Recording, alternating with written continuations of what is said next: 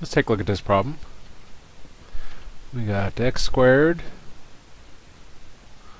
plus 1 fifth x.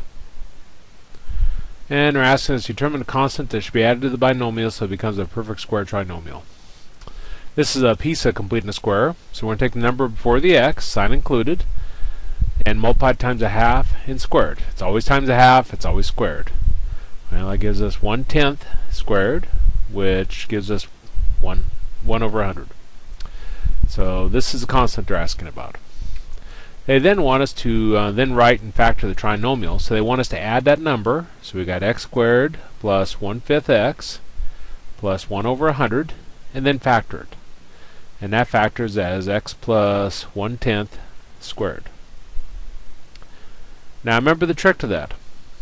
Whatever number is right here uh, in the parentheses right before you square it, sign included, is always what goes right down here. Makes that step so easy.